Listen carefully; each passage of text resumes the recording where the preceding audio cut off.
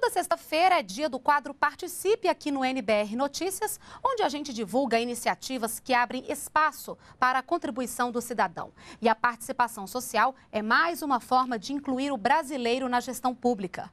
Desde o início de junho, a população pode enviar contribuições para a proposta de revisão dos procedimentos obrigatórios a serem cobertos pelos planos de saúde a partir de janeiro do ano que vem.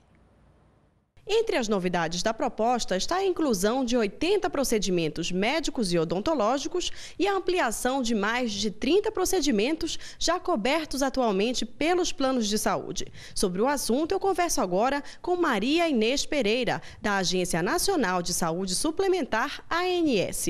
Qual a importância da participação social nesse processo de revisão?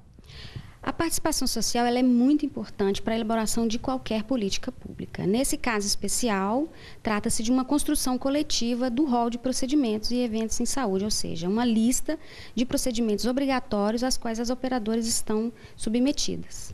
De que forma a sociedade vai poder contribuir nesse processo? Toda a sociedade pode contribuir através da consulta pública que está em vigor no site, ela está disponível no site da ANS, www www.ans.gov.br.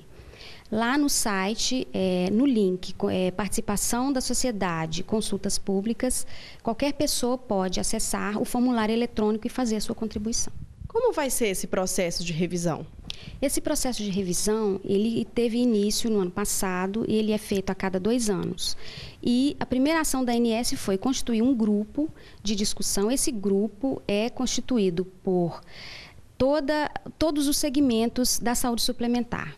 Ele tem representação da, da ANS, representação dos ministérios, Ministério da Saúde, Ministério da Justiça, através dos PROCONs, e representantes da, dos órgãos de defesa do consumidor, é, das entidades civis de defesa do consumidor, além de representantes das próprias empresas, das operadoras e representantes também dos prestadores de serviços, são, que são os médicos e todos os outros prestadores. Muito obrigada. Lembrando que a consulta está aberta até o dia 7 de julho.